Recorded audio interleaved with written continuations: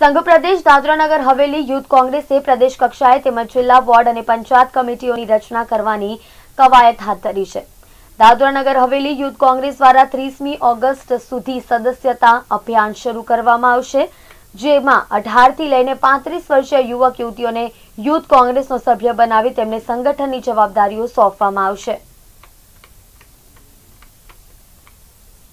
इसमें सत्रह से जो है हम मेंबरशिप नॉमिनेशन स्टार्ट करेंगे। नॉमिनेशन जो है वो सात दिन के लिए रहेगा, उसके बाद स्क्रूटनी हो जाती है। स्क्रूटनी के बाद फिर हमारी जो प्रक्रिया है वो फ़र्स्ट अगस्त से लेके थर्टी फ़र्स्ट अगस्त तक मेंबरशिप जो है वो कंपाइल हो जाएगी और इकतीस अगस्त के बाद जो है वो कमेटी डिक्लेयर हो जाएगी। इसमें ये एक ओपन प्रोसेस है, इसमें कोई भी अगर ज्वाइन करना चाहे कांग्रेस पार्टी यूथ कांग्रेस को तो वो कर सकता है और विद आई ऐप के साथ